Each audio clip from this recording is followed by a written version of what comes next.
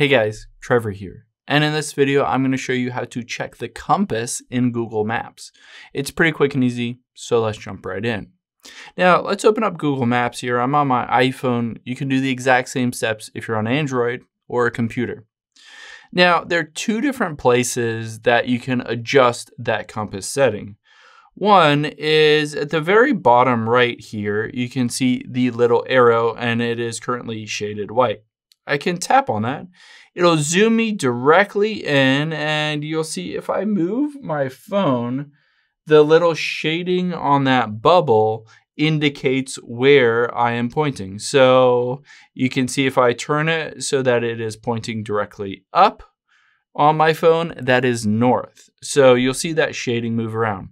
Now, another thing is, let's say we start navigating to a specific place.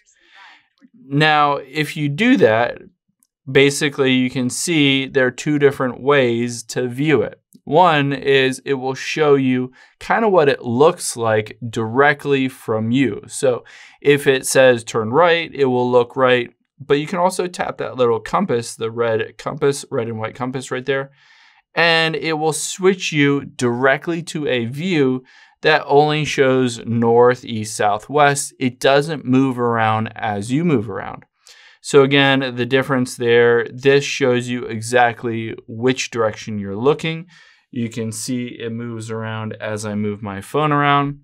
Whereas if I tap the compass, it doesn't do that anymore. It just shows a static view of north always being up.